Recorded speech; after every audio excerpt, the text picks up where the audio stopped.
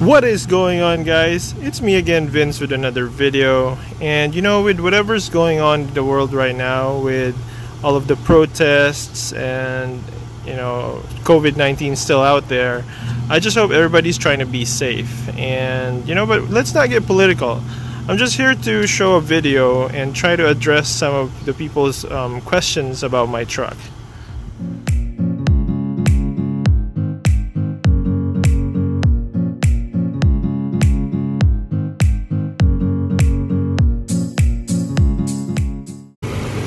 So a lot of people have been asking me how I did uh, my headlight with the DRL on and the marker light on at the same time. Uh, keep in mind I have a TRD Sport 2017 and with the TRD models you're gonna have a daytime running light but your marker light shouldn't be turned on. Um, this marker light is only turned on constantly with the SR5 model but with the SR5 model you're not gonna have the daytime running light and that's exactly what I'm gonna show you guys in this video so stay tuned and if you like this kind of video, please don't forget to subscribe and share this to other people so that um, I can help you guys with if ever you guys want to, you know, go this route in modifying your headlights. Enough said, let's just go dive right into it.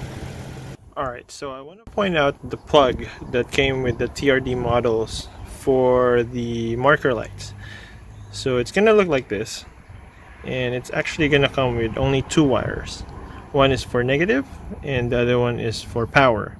So in order for you to run your marker light as a daytime running light and as a marker light at the same time you need to have two power source so what I did was I actually changed that into something like this.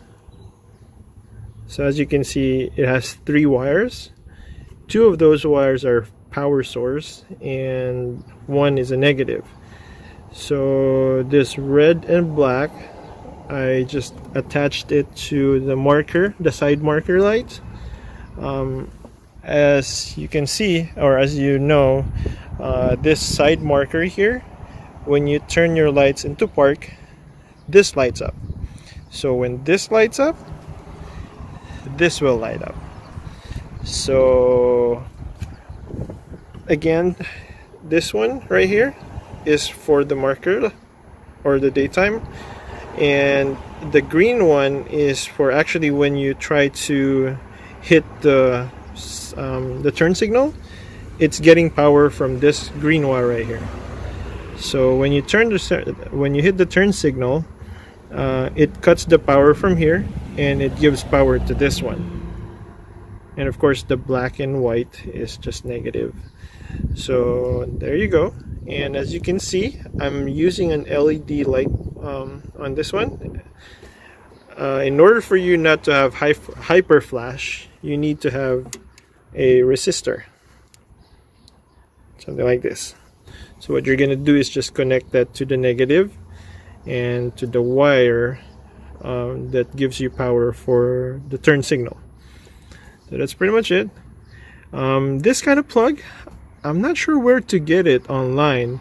I was just lucky to find it on a local store, but I've been trying to look online, Amazon, eBay, or anywhere, but I couldn't find it.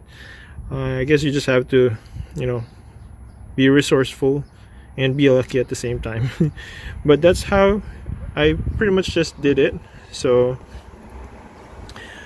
as you can see, it has three wires compared to two wires so that's all it takes and yeah if you like this uh, video and if you find it helpful uh, please hit that subscribe button and try to share this to people so that you know I can help them if they want to go this route in modifying their headlights. So that's pretty much it. It's just a quick video. Thanks for watching guys. Catch you on the next one